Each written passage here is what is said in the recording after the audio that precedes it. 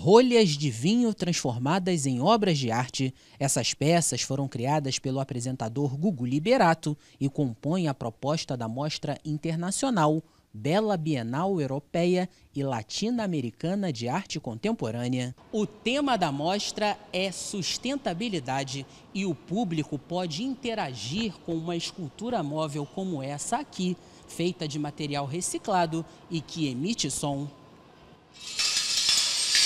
Até porque a gente acredita que a arte tem a responsabilidade, muitas vezes, né, de mostrar ou despertar as pessoas para alguma causa importante. Eu acho que agora a natureza é fundamental para a sobrevivência de toda a humanidade. Né? Pinturas, fotografias e esculturas de 140 artistas podem ser conferidas na mostra, que traz um diálogo intercultural com diferentes significados. Então eu tenho essas duas obras que são inspiradas no Guimarães Rosa. Conto dele, meu tio Iauaretê. Então eu chamei os dois de Iauaretê, porque é o número um e o número dois.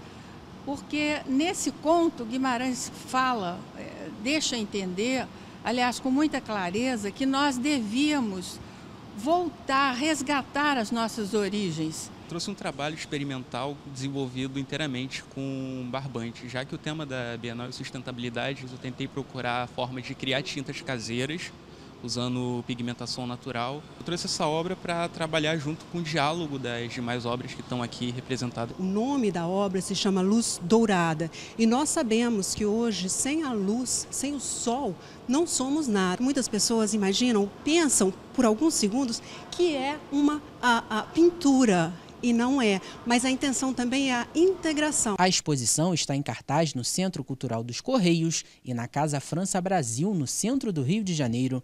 A mostra pode ser visitada sempre de terça a domingo e com entrada gratuita até o dia 12 de maio. Wellington Andrade, para a Rede Vida de Televisão.